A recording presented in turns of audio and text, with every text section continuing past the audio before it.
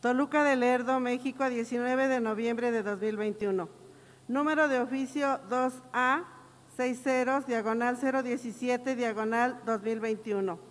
Diputada Ingrid Krasopani Shemelensky Castro, presidente de la Honorable Sexagésima Primera Legislatura del Estado de México, presente.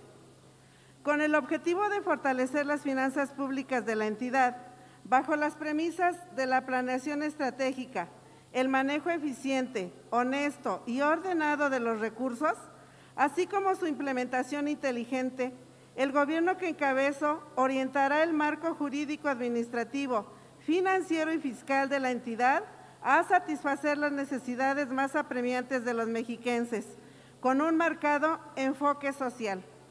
Por lo anterior, en cumplimiento a lo establecido en el artículo 77, fracciones quinta, décima novena y vigésima de la Constitución Política del Estado Libre y Soberano de México, me permito entregar a esta honorable soberanía, a través de su amable conducto, los instrumentos jurídicos siguientes.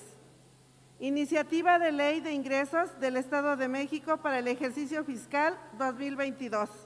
Iniciativa de Ley de Ingresos de los municipios del Estado de México para el ejercicio fiscal del año 2022. Iniciativa de decreto de presupuesto de egresos del Gobierno del Estado de México para el ejercicio fiscal 2022.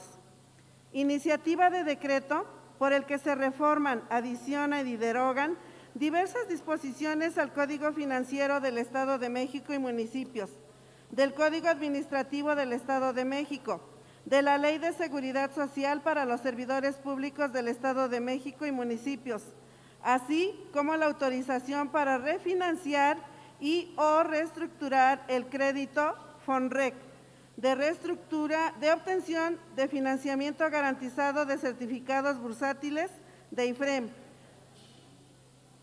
de obtención de financiamiento garantizado por recursos FAFEP, la autorización para ampliar el plazo de la concesión, así como reestructurar la línea de crédito contingente de las plantas tratadoras de aguas residuales Toluca Norte y Toluca Oriente para la suscripción de convenios de reestructura por concepto de deudos con el ICEMIM.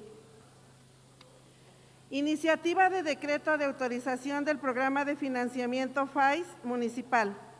Iniciativa de decreto de autorización a los 125 municipios del Estado de México a contratar créditos para ejercer durante los ejercicios fiscales de 2022 y 2023 con cargo a recursos del Fondo Estatal de Fortalecimiento Municipal, FEFOM.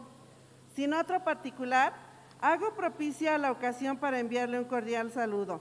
El gobernador constitucional del Estado de México, licenciado Alfredo del Mazo Maza. Es cuanto. Gracias, diputada. Con apego al